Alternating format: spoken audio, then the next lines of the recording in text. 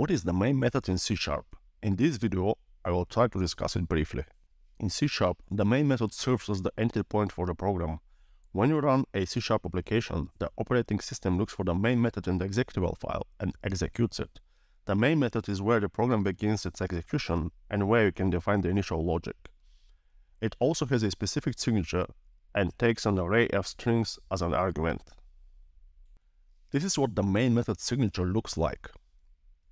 Let's break down this signature. Static. The main method is a static method, which means that it can be called without creating an instance of the class. Void. The main method does not return a value. Well, normally. The main method can have an int, task, or task int return type. Here are the different signatures that the main method can have. String args.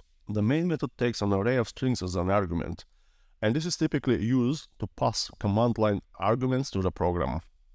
Here's an example of a simple main method that prints out a message to the console.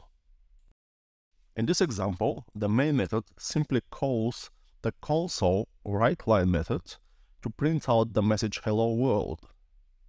You can also use the args parameter to pass command line arguments to the program.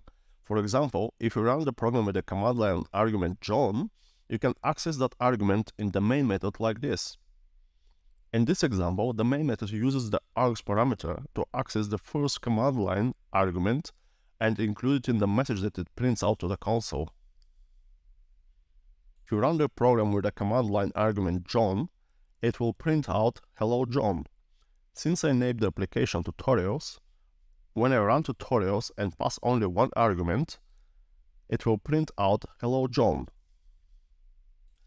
This was a very quick and by no means complete introduction to the main method in C Sharp. If you want to test your knowledge and prepare for your next coding interview, visit codeprepping.com. Thank you for watching.